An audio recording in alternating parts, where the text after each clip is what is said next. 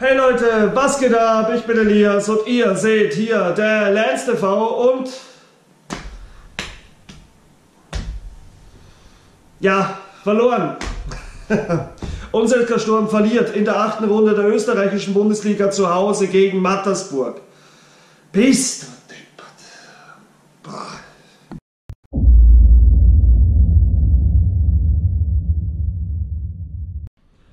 Hey Leute, was geht ab? Ich bin Elias und ihr seht hier der Lance TV und unser SK Sturm hat in der achten Runde der österreichischen Bundesliga mit 1 zu 2 zu Hause gegen Mattersburg verloren. Eine einzige Frechheit das Ganze gewesen, ähm, gerade der zweite Durchgang. Der erste war noch okay, war noch passabel, ähm, nicht alles funktioniert, nicht alles gut gewesen, aber das war okay, auch äh, vom moralischen Standpunkt aus, ähm, von der Motivation der Mannschaft her, aber der zweite Durchgang schlichtweg zum Vergessen. Das Match, kommen wir mal dazu, die ersten 10 Minuten so herumgeplätschert, nichts Konkretes von beiden Seiten. Dann aus dem Nichts 1 zu 0 für Mattersburg. Einwurf weit in unseren 16er. Ähm, der Ball wird per Kopf noch von einem Burgenländer verlängert. Äh, Lackner äh, war es, glaube ich, der da seinen Gegenspieler nicht gut im Griff gehabt hat. Ähm, und der Ball kommt dann eben zu Pusic und der trifft dann aus äh, schöner Halbposition zum 1 zu 0 für Mattersburg. Sehenswert gemacht. Äh, das war so Richtung Seitenrückzieher, wenn man es ein bisschen ja übertrieben formulieren will. Keine Chance für Siebenhand und Mattersburg mit der ersten Aktion gleich mal ja, in Führung gegangen. Sturm reagiert allerdings dann gut auf diesen Rückstand. In der 12. Minute nämlich gleich mal der Ausgleich für unsere Blackies. Freistoß Peter Schul aus, ich würde mal sagen, so um die 30 Meter herum, ähm, hoch in den 16er und da steht Lukas Spendlofer völlig alleine mit dem Kopf und trifft eben dann äh, mit der Birne zum 1-1 in Minute 12 für unseren SK Sturm. Das ist auch das Wegzeichen, äh, würde ich mal sagen, oder der Weckruf für unsere Blackies. Nach dem 1-1 kommt man besser in die Partie. Zehn Minuten äh, nach dem äh, Ausgleichstreffer hat man erneut die äh, Chance in Führung zu gehen, also erneut die Chance zum Tor durch Spendlofer. Eine komplett identische Situation, muss man sagen. Hoher Ball wieder von Schul nach einem Freistoß, wieder Spendlofer komplett allein im 16er. Also die Mattersburger zweimal so eine Riesenchance da zugelassen. Und diesmal geht der Ball aber nicht ins Tor, sondern Spendlofer köpfelt diesen völlig freistehend am Tor vorbei. Allerdings muss man sagen, er hat er den wohl von der Position schwierig erkennen können, aber sei es drum, Sturm auf jeden Fall bleibt am Drücker, ähm, kombiniert sich teilweise auch ganz schön bis zum 16er zumindest. Ähm, der Abschluss dann ja meistens ähm, nicht konkret genug einfach, äh, wenn man denn zum Abschluss kommt. Aber das sah alles gar nicht mal so schlecht aus. Man hat dann auch ähm, durch Grozurek eine gar nicht mal so schlechte Möglichkeit. Nachdem äh, ja der erste Schuss im 16er abgeblockt wird, kommt Grozurek an den Ball und trifft dann aber nur das Außennetz. Aber man hat schon gesehen, Sturm wollte dann nachlegen, wollte das zweite Tor machen. Gelungen ist es aber leider nichts. Von Mattersburg im ersten Durchgang nichts zu sehen. Die zweite Halbzeit dann komplett verändertes Bild. Äh, Sturm nicht mehr auf dem Platz, also nur mehr körperlich, geistig, keine Ahnung, wo sie da unterwegs gewesen sind, die meisten. Ähm, auf jeden Fall Mattersburg ein Tick aggressiver, ein Tick motivierter auch, hatte ich das Gefühl. Und Sturm kam damit überhaupt nicht mehr zurecht. Die Mattersburger eben ja ähm, haben äh, einige Halbchancen kreiert. Äh, die erste ähm, ja richtige Chance, würde ich mal sagen, hatte dann trotzdem fast Sturm nach ja so 55 Minuten herum. Gitaischwili, den ich wirklich so aus der äh, personellen, aus der generellen Kritik da herausnehmen möchte. Das war der einzige aus meiner Sicht, der gekämpft hat, der sich wirklich zerrissen hat und alles versucht hat und wo ich das Gefühl hatte, der wollte das Ganze noch irgendwie drehen mit einem Distanzschuss. Ähm, der geht dann nicht rein, aber zumindest hat es einer mal versucht. Wenig später dann, ja, natürlich der Genickbruch in dieser Partie, das 2 zu 1 für die Burgenländer.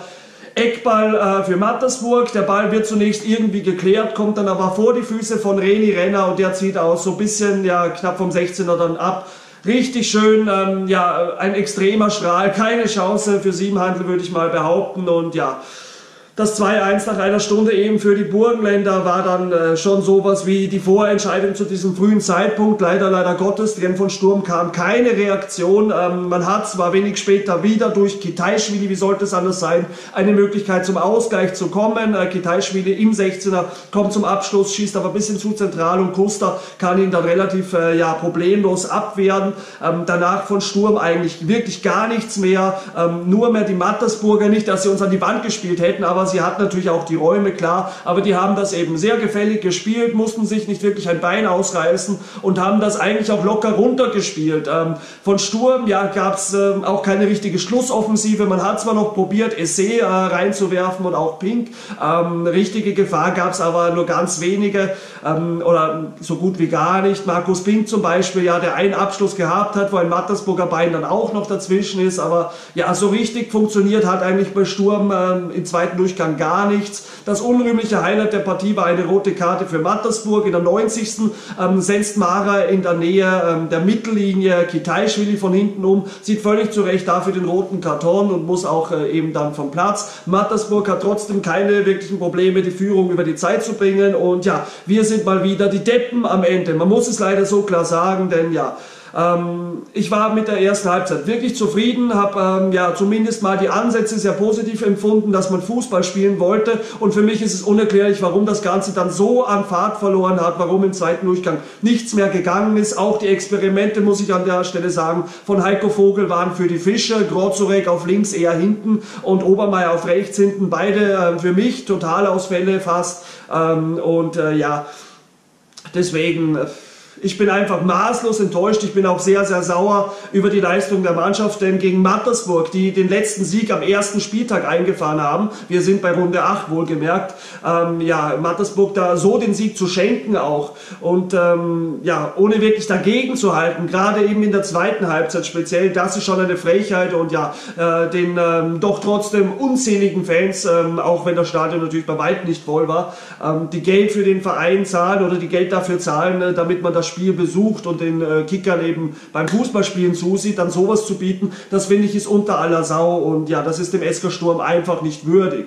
Bevor ich mich verabschiede, schreibt mir bitte noch gerne in die Kommentare, was ihr zum Spiel sagt. Ich bin auf jeden Fall komplett sauer. Ich bin auch sehr enttäuscht und ich erwarte da einfach ja eine Reaktion, in welcher Form auch immer diese äh, dann aussehen wird. Ähm, ob das jetzt der Trainer sein wird, ob das jetzt äh, in Form von ja, Spielern sein äh, werden, äh, die vielleicht dann auch Konsequenzen zu spüren bekommen. Je nachdem ist mir ehrlich gesagt in, dem, in diesem Moment jetzt auch egal. Ich will einfach wieder Sturm sehen, denn das war nicht meine Mannschaft, das war nicht ähm, mein Verein, wie ich ihn kenne. Und ja, das geht so einfach nicht. Also, von dem her war es das jetzt auch schon wirklich von mir und wir sehen uns einfach beim nächsten Mal hier bei The Lens TV. In diesem Sinne, euer Elias. Nichtsdestotrotz natürlich auf die Schwarzen, aber natürlich nur auf die echten Schwarzen und bis dann.